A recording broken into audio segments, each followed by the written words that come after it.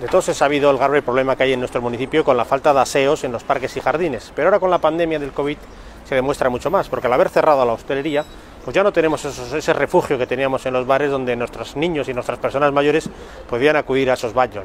Entonces vamos a pedir al ayuntamiento que instale aseos provisionales de los que se ponen en las fiestas municipales para poder hacer uso de esos baños y que nuestra gente, por lo menos las personas mayores sobre todo, pues tengan ese lugar donde poder acudir.